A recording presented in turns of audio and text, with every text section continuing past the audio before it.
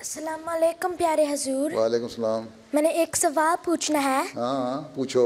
आपको कौन सा खाना पसंद है? क्या पसंद है? खाना। खाना कौन सा पसंद है? जी। जो अच्छा पका हो।